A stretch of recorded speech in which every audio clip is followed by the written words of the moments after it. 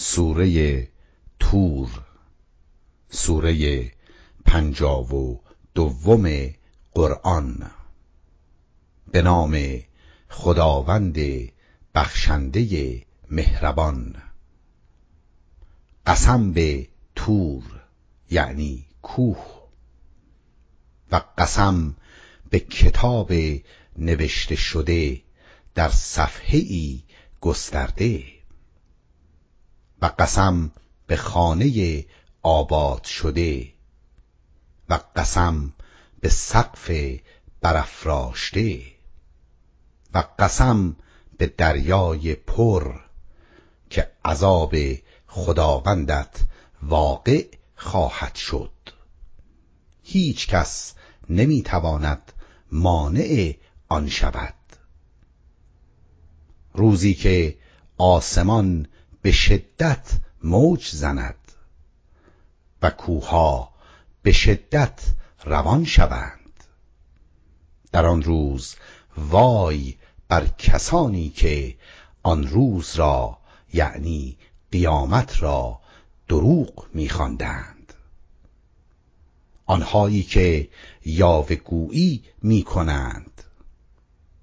روزی که آنها را با زور به طرف جهنم میرانند و به آنها می‌گویند این همان جهنمی است که آن را دروغ میپنداشتید. آیا این هم سحر است یا نمی‌بینید؟ وارد آن شوید. چه صبر داشته باشید چه نداشته باشید فرقی نمی کند. جزای کارهایی که می کردید به شما داده می شود. پرهیزکاران در بهشت ها در نعمت هستند.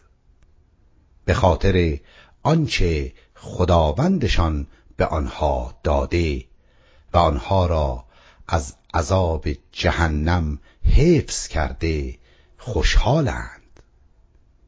به خاطر کارهایی که می کردید بخورید و بنوشید. نوش جانتان. بر تختهایی که در ردیف هم چیده شده تکیه می‌زنند و حوریان را جفت آنها می‌سازیم.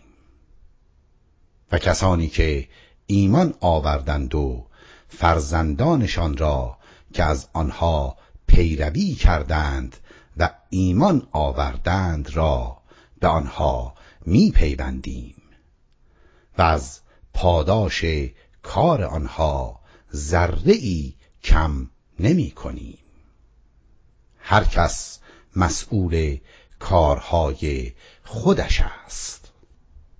و از آنها با میوه و گوشتی که میل دارند پذیرایی می کنیم در آنجا جامی را از دست هم می‌گیرند که در آن لغو و گناه وجود ندارد.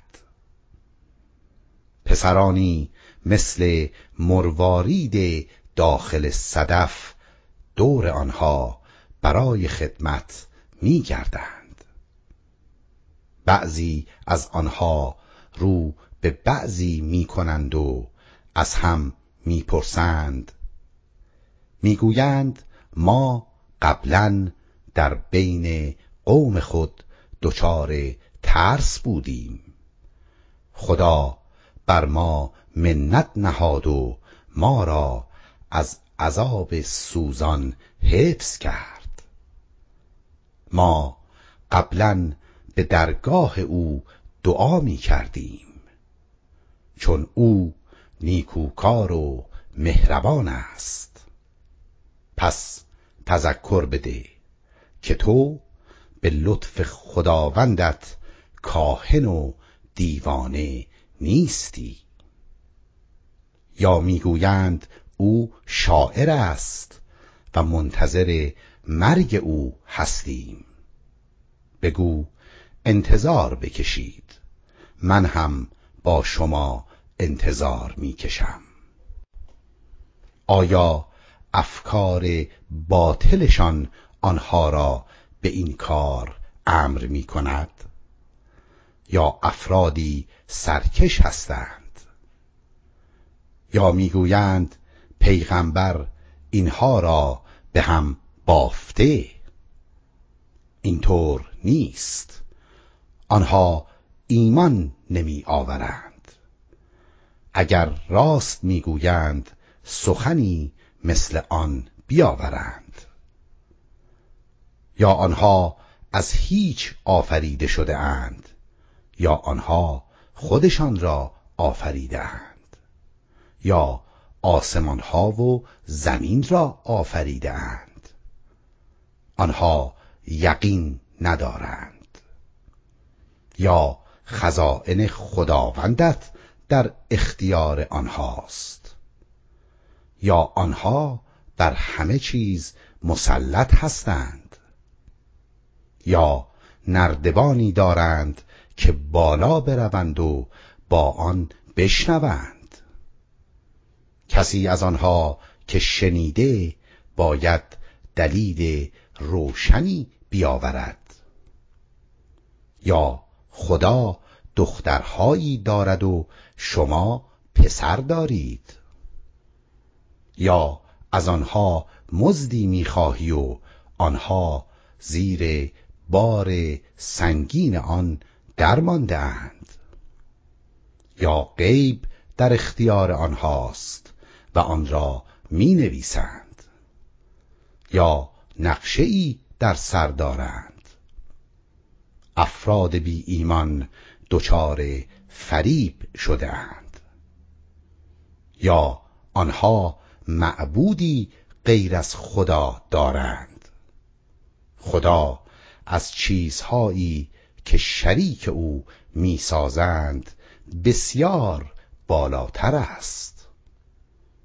اگر تکه از آسمان را ببینند که دارد می افتد می‌گویند ابر متراکمی است. آنها را به حال خود بگذار تا روزی را که در آن هلاک می‌شوند ببینند. روزی که نقشه هایشان ذره ای به درد آنها نمی‌خورد و کسی به آنها کمک نمی کند. برای کسانی که ظلم می کنند عذابی غیر از آن نیز هست ولی بیشترشان این را نمی‌دانند منتظر حکم خداوندت باش. تو زیر نظر ما هستی. و وقتی بلند می‌شوی با ستایش خداوندت تسبیح بگو. و قسمتی از شب و موقع ناپدید شدن ستارگان هم تسبیح او را بگو.